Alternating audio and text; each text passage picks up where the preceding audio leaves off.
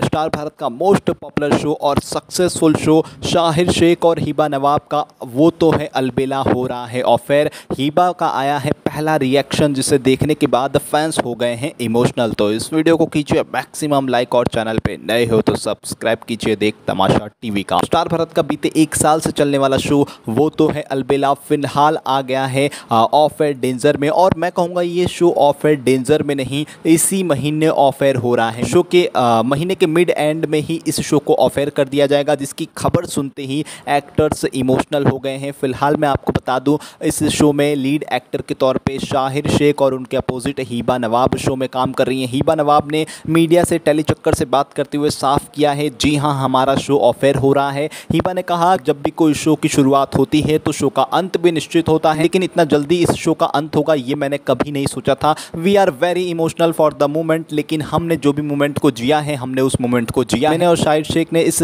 Show में hundred दिया है। हिबा इस शो के लास्ट एपिसोड शूट पर इमोशनल नज़र आए। इसके साथ साथ ही जैसे ही फैंस को पता चला कि शाहिर शेख और हिबा नवाब की शो को अब फाइनली मेकर्स ने बंद करने का फैसला कर लिया और इसकी बड़ी वजह है।